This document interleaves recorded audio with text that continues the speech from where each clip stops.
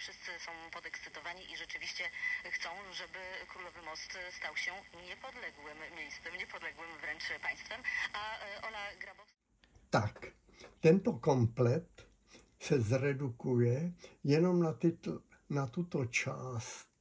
Je to paralelní ILC obvod a je vyladěný na kmitočet polského vysílače, které od nás 350 km vysílá 1600 kW výkonem. Venku mám drátovou anténu a tu připojuji přes tuto indukčnost laděnou a tím tu anténu jako přizpůsobuju její kapacitní složku, protože ta anténa je dlouhá jenom 3% vlnové délky, tak má obrovskou kapacitní složku. Tu kapacitní složku tady vyruším, já to přesně seřídím, indukčnost jádrem,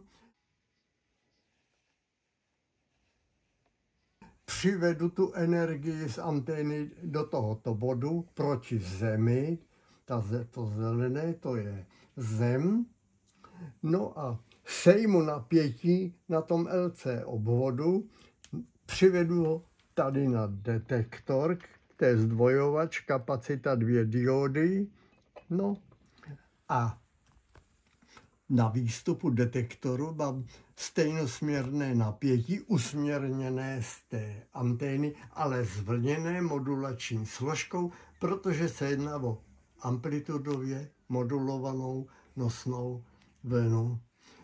A paralelně k měředlím, k měředlím, měředlím, těm dvou měřáčkům na výstupu detektoru je zapojená citlivá piezo keramická vložka. Tohle je samotná vložka a toto už je upraveno na 3D tiskárně jako sluchátko.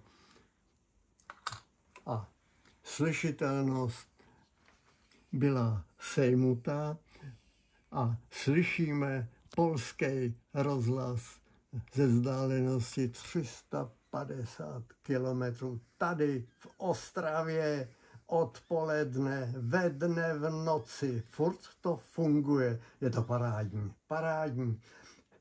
A na měřák můžeme vidět, jak